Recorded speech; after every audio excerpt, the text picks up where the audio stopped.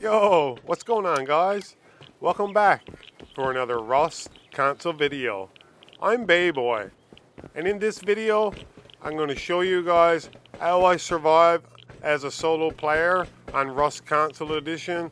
I'm going to show you how I survive on the current official servers that are dominated by the clans and the Zergs. They seem to be raiding everything in sight. Uh, maybe they're just bored of the game at this point, uh, running in, in uh, such big groups. And I can understand, I can see that why boredom would set in on these groups or these Zergs. You know, uh, we're certainly lacking uh, content updates to the game. I think everyone can agree on that point with the lack of updates to the game. And here we are with still no, no new monuments and content uh, to keep everyone busy and engaged. So I can see why these raids are happening. Uh, I mean, the solo player really don't stand much of a chance on any of these servers.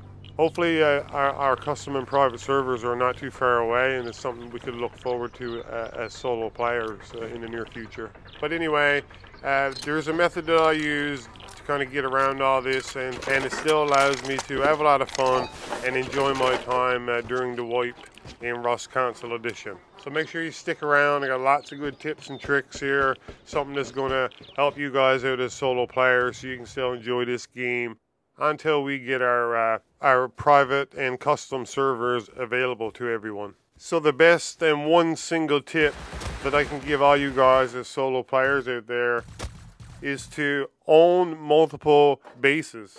You need to uh, secure your loot. I mean, you, you can't uh, risk keeping all your loot in one base, logging off for the night, and uh, getting offline.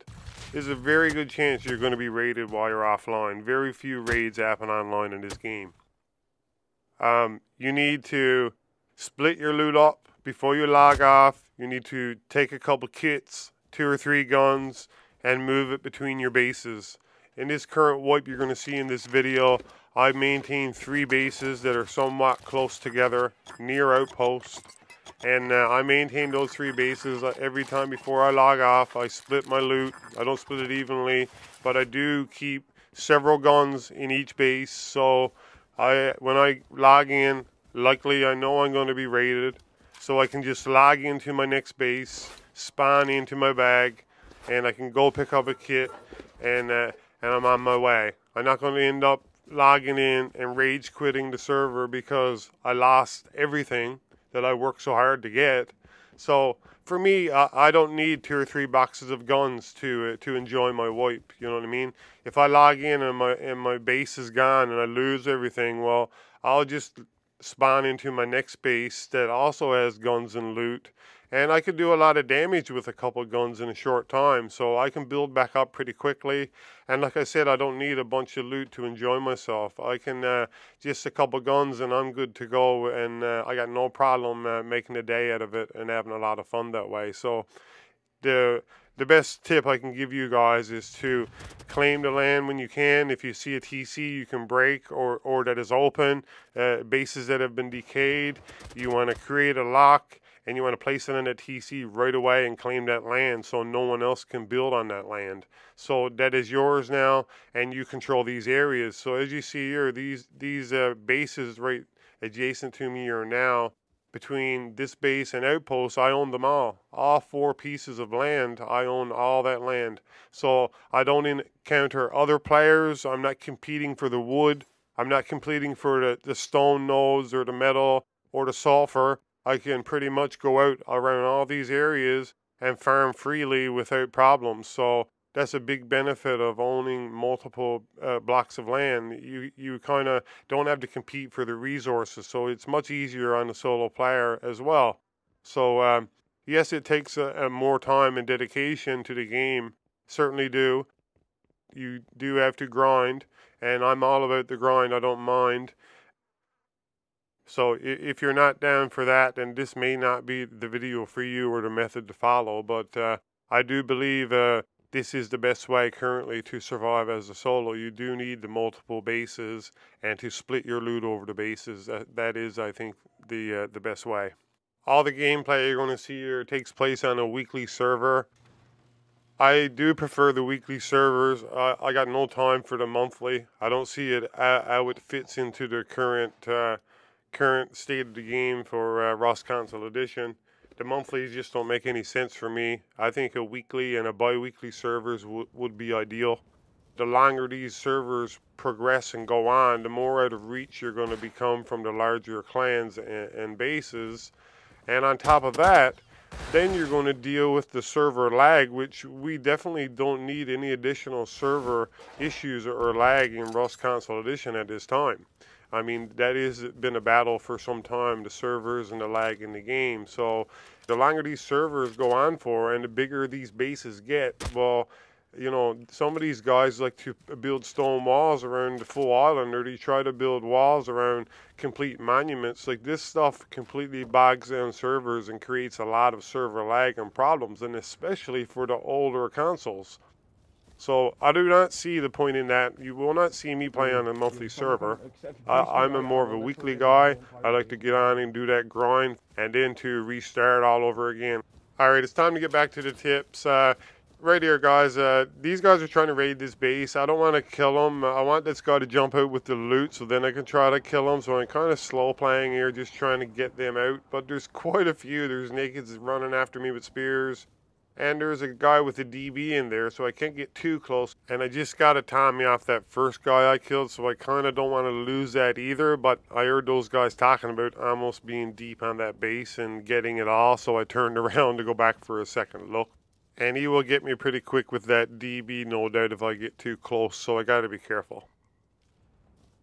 So as a solo player, you need to take every advantage you can in Rust. I mean, you need to get up early if you can. You need to play on the lower pop times on the server to do your more high risk activities. So you want to get your farming done early in the morning if you can get on to get that done, so you can get your base uh, your base essentials and get your base upgraded, that type of stuff. And the same for running monuments. So if you're going to run uh, airfield and launch site uh, as a solo, you don't want to be doing that when the server's pop, popping off with 100 people on. And these weekly servers are certainly popping off every day. So you got to watch out for that. You want to use your times, uh, use it wisely. Pick the times that you're going to go to these high risk areas. But I just pick the times that I think is best to go there so I don't lose my loot, my uh, access, my red card and my green cards, my fuses, that type of stuff. So uh, just be careful with that. I personally like to uh, roam early in the mornings to check the server out to see what bases have decayed overnight, uh, what bases have got raided, so I'm more in touch with the server.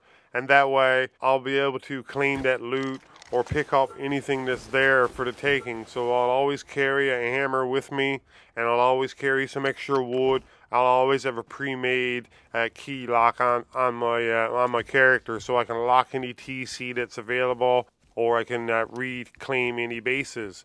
At two of the bases you see at me using here in this wipe, two of the four, I, I took them over after they were raided. I went in there, I placed a new TC, and I placed doors on, and then I expanded the base a little bit further to make it mine. a couple of the bases are a little scuffed, but that don't matter. I, th I think at this point, the more bad it looks or the, the worse you look as a player, the least chance uh, of you for getting raided. So I wouldn't worry about your bases looking too uh, too uh, sharp right now. I don't even bother upgrading to honeycomb anymore. It's just a big waste of time.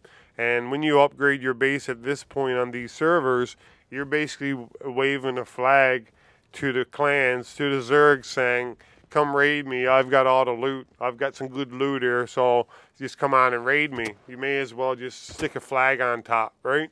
It's pointless to put the honeycomb on your base at this point. And I mean, once it do change and we get our private custom servers, by all means, we'll need to, uh, you know, upgrade your base properly and place the honeycomb. But at this point, you'll see in, in on uh, from these bases that I've used, I didn't bother honeycombing any bases because the clans, they've got lots of boom. Whatever base they decide on raiding, they're coming in, then you're not going to stop them unless you're you get lucky and you're able to uh, uh, get an online raid and you can kill them. But other than that, split your loot up and hope for the best. That is the best uh, advice right now that I can give you. So during this weekly wipe, I was raided twice out of the three bases that I maintained. I was raided on day two, and I was raided again on day three, both at, on separate bases. Now, it didn't affect me because I had backup loot in my uh, third base, and I would just spawn in and go back to work. You know what I mean? Uh, not a big deal. It's a little disappointing when you log in and see all your shit is gone, but uh, it's a good feeling to log back into your second base and to grab a kit and to uh, start progressing again. So uh, that's the method. That's that's the meta right now. You need to be uh, following. You see that vertical sensitivity? Uh, it's pretty bad. It's uh, well way too high still. Double 11 really needs to give us more adjustment on that vertical sensitivity. I suspect it's another, it's at least 30 to 40 percent too high at this point. It's uh, for me, it's not even controllable. It's out of control when I go vertically. You can see it there when I tried to make a play on that guy. These guys were trying to take over this base. Uh, obviously, there's a tier two here. Uh, a clan uh, lived here before, but I didn't realize there wasn't a, lock on the TC. So I uh, quickly got some wood and uh, smacked the lock on that TC. It was it was so dark I couldn't really see anything. The other guy I downed, he got picked up by his friend and he got away. I just couldn't see him uh, which way he went. Okay, next tip, guys, is on researching your items. When you're a solo right now, I would recommend you spend your scrap as quickly as you can on researching your items. Even if it is a tier 2 item and you only have tier 1 workbench. This kind of goes against what I said in a previous video, but uh, the scrap is no good in your base if you get raided and lose it all. So if you got a bunch of scrap and you're done for the day, I would recommend to you to go and research those items even if you don't have a tier 2 workbench. And that way you'll have the items, they can't never take them from you again. Even if you get raided, you can still create those items and craft them. So you'll work on your tier 2 workbench the next day. That's what I personally did in this wipe and it paid off. I had my custom SMG already already researched on day one I was raided in no time and I came back and uh, I was able to build my way up to get that tier 2 again and uh, to quickly create, uh, to craft those custom SMGs. And without me researching that early on, I would have had to start all over and I would have lost all that scrap and all those uh, guns and items that I did have. So by me doing that, it was certainly the right move. So I wanted to let you guys know that this is something you should consider doing also crafting the uh, second tier 2 workbench wasn't uh, very good either. I didn't really want to do that, but uh, at that point I had no choice. So uh, what I've also done is I'll uh, split my workbenches between bases as well. I won't place the second one in the same base. I'll, I'll usually split them up so I can always uh, craft weapons. So, finding loot and getting guns as a solo player. Of course, you need to be looting. Uh, you need to be getting that green card, your blue card, and red card. You need to be running the monument sites. Of course, you need to do that. You need to be doing the sewer branch in the airfield and go for launch also if you're confident to do that. But outside of that, you need to be getting in on the gunfights. You need to be fighting with the clans. Yes, that's what I said. You need to fight with the clans. Now, I don't mean to dive right in there into their gunfights, but you need to be lurking. You need to be the snake in the grass.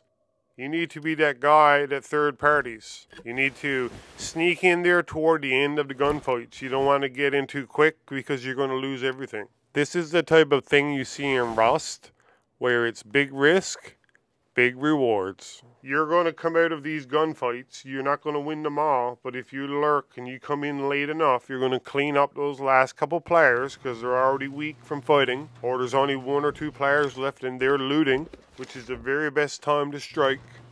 So that's when you want to go in there and clean them up, and you will come out with a full inventory of loot and guns and all the good stuff. So that is how you're going to get your best loot in the game, is from PvP and fighting those clans. I was a bit of a pest to this clan down the hill from me. And I kept going back and I took multiple kits off those guys throughout the wipe. And uh, also the same thing with airdrops. If you see an airdrop coming, Uh, I usually go for airdrops quite a bit, but I you have to be strategic about it, or you'll lose everything because you're just the one man, and there will likely be multiples, uh, multiple teammates on the other teams you're going to fight. So use the same technique. You want to lurk in there. You you want to be late to the party. You want to be snake in the grass, slither in there at the very end when they're looting or when the last couple guys are fighting for that loot and get in there and take them out and take all the loot and bail. That's the way you need to be as a solo player in Rust Console. There's also other good benefits to running multiple bases. If you do get online, say, and uh, they do give you a, a fair raid, which is very few and far between, um, at least you'll be able to respawn at your, your near near bag or your near base and come from behind with a weapon and maybe take them out. So that that is an option. That is that is a technique I like to use. It certainly works well. Uh, being stuck in a base where you can't see out or there's no windows or you don't have a top access or roof access, uh, that really sucks when you're getting raided. You, you can't really do much. So being able to spawn on a different bag or in a different base and come and attack those guys from behind is certainly key. Okay, you guys, that's going to clue up this video. I certainly hope that it's been beneficial to you solo players out there. Timestamps for the video important points will be in the description so you can check there so you can fast forward or whatnot, whatever you like. And also links to my other videos are in the description. And by this time guys, you know what, I, what I'm all about. I create Rust console content and that's what I'm going to be focusing on for many years to come. So if you'd like to see guides, tips and tricks and you're going to see some solo uh, gameplay coming, uh, highlights of the wipe progression videos. Make sure you get subscribed so you don't miss my next upload. Okay, guys, I really appreciate you guys watching and for you guys being here. Take care, and we'll see you guys in the next video.